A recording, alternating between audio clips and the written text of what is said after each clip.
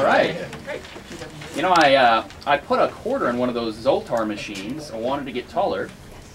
Kind of surprised, actually, it hasn't turned out that well because I just put one in. So hopefully, I was I was wanting to get that extra little bit uh, height, but uh, I saw these commercials on late night TV about male enhancement. I was hoping to get a little bit bigger. Order the pills. I didn't know you could just get the pills. Much easier. Uh, but uh, but I don't think I've grown much anymore. I've always been about this. I haven't I? I mean, I, I'd like to be a little bit bigger. I don't, compar- comparatively speaking, I don't think I'm. I'm not. Uh, I'm not. Uh, I'm not any bigger. I don't think. That's no good.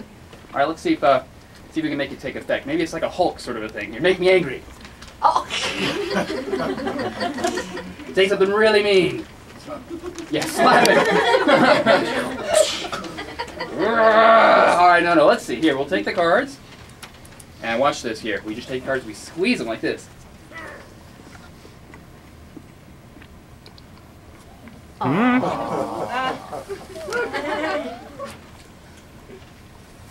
See?